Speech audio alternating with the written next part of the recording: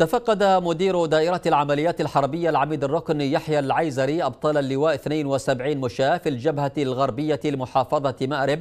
ونقل العميد العيزري إلى الضباط والصف والجنود تحايا القيادة السياسية والعسكرية مشيدا بالجاهزية القتالية والروح المعنوية العالية التي يتمتع بها أبطال اللواء.